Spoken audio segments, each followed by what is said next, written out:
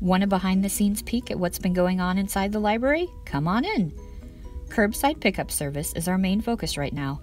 Since May 8th, we've delivered over 3,000 items to our customers in their cars library materials, prints, 3D prints, craft kits, fishing gear, mobile hotspots, and more. It's all available through curbside service.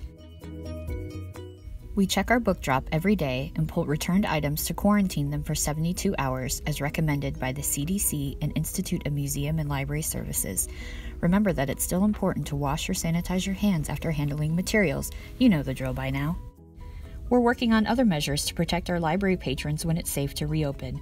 We've installed social distance markers on the floors at our service desk to make sure we all stay six feet apart.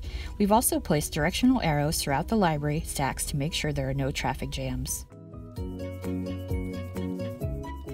The library may look a little sparse when we reopen. For everybody's safety, we've removed most of the furniture from the library floor, as well as half of the public access computers to maintain safe social distances. There is a lot of furniture stored in here.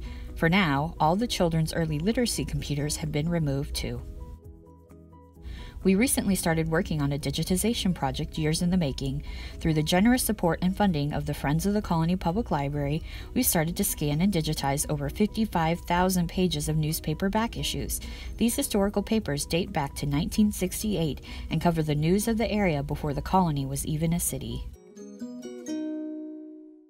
We've taken over the Easy Picture Book and juvenile areas to put together our summer reading curbside craft kits.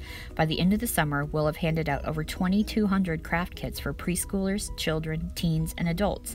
We love seeing the pictures of everything you've made. Tag us on Facebook and Instagram. Once each week's kits are assembled and packed, we bring them up to the front for curbside pickup.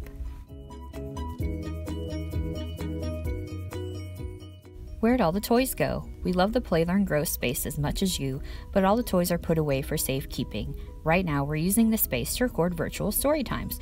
We've also made a station for recording craft kit videos. We're learning lots of new skills. Above all, we're keeping our sense of humor and making the best of the situation. Thanks for stopping in to see how your TCPL staff are continuing to serve the community during this unique time.